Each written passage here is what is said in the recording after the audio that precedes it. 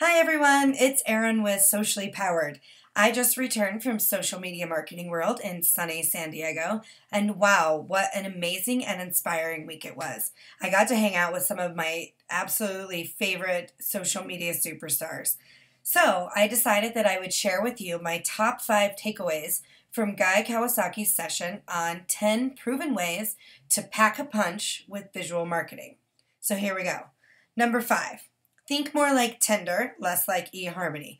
Social media is an instant decision for most people when they're deciding whether or not they want to pay attention to you. Make it worth their while. Make them want to follow you. Number four, have an appealing profile and cover photo. Try to tell a story with your cover photo, what you're trying to portray to your audience.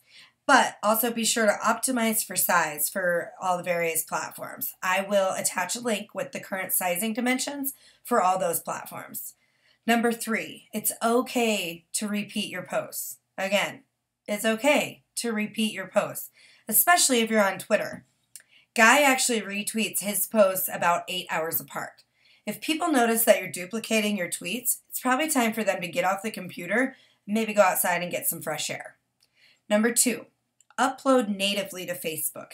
In other words, don't use a social media management tool such as Hootsuite or Sprout Social to schedule your posts.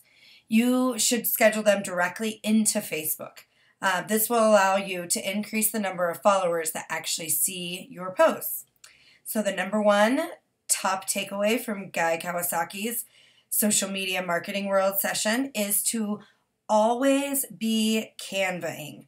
As many of you may know, Canva is my absolute favorite tool that I use every day. Uh, it allows you to create your own custom cover photos, uh, Facebook and Instagram posts. You can create ads, you can do presentations, and basically anything that you can think of that you would need custom content creation for. So, I hope that these top five takeaways from Guy Kawasaki's session help you be more socially powered. Until next month, cheers!